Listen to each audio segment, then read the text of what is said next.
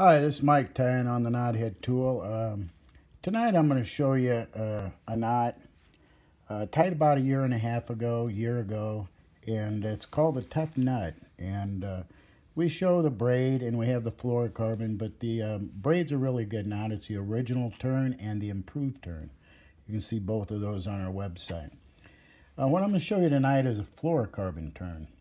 And this ties up really good. It's pretty much a slip type knot and I'm going to show you how to turn this. So what you do is you take this, you just put this right in here and pull enough to, to uh, turn this knot. If you do it a couple times, you know about how much you need. Then you put your retainer down. You don't have to capture it tight because you're going to be pulling some through to get the right length. And then on this knot, just like on the Tough Knut uh, braid, you come through here just once and then you come right back again. This is a real easy place to tie this turn. You come back through just like this. You bring this back, place it right over top there, right underneath the retainer, and then you make sure they're all gathered up up here on top. That's important. You can see them all going in there. Okay? And then you just bring this around, make sure it flips around the top there, and you make one, two, three, four, and for different size lines, you can use a different number of turns and this is 15. So after you get it around there away from you and turn four or five times, you can bring this tag back and cross over the near line, the middle line, and come out in between the braid and the rear line. Okay, so that's pretty much turned. So I'm going to take that off and I'm just going to show you. You can tie this knot in about 15 seconds, no matter where you're at, out in the wind or out in the weather.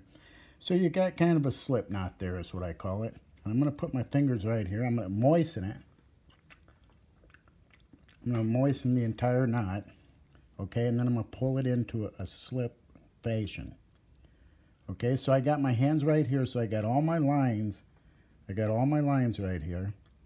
And then I'm going to drop back and just take a hold of my main line, and I'm going to draw that in. And once it gets in there, you'll pull it and that ends up being a really great knot, a very, very strong fluorocarbon tie. And like I said, when you get this down, it's about a 35, 40 second knot max. Uh, you can you can wing this thing on here. But that thing, right now, you, I'll just take and I'm going to cut this uh, tag off.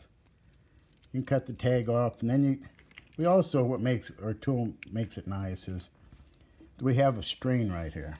And all these knots you tie, you can strain right here and you can see how tight that knot is. It's a good knot if you look right there. But anyways, that's our Tough Knut fluorocarbon tie.